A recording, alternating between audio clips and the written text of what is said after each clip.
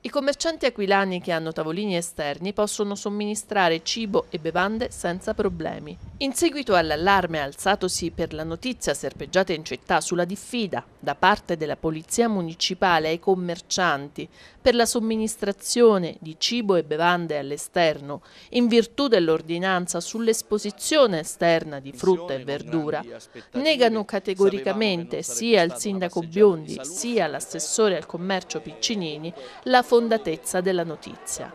Non c'è alcuna diffida da parte della Polizia Municipale ai commercianti. Ci sono pressappochismo e disinformazione alla base di una notizia non notizia, dice Biondi, che metterebbe in relazione un'ordinanza sul divieto dell'esposizione all'esterno di frutti e ortaggi, di cui rivendico la giustezza e la legittimità, e il sacrosanto diritto di bar, pub e ristoranti di sfruttare la stagione estiva per l'attività all'aperto.